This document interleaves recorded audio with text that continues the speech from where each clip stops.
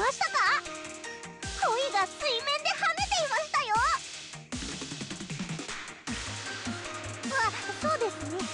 落ち着いているな。精神も落ち着けて。はい楽しいです。こんなにも楽しいのはやはり。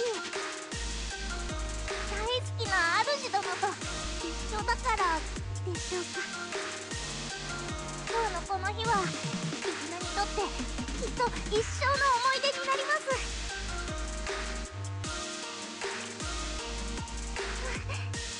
はい主殿ふつつかものではありますがこれからも絆をよろしくお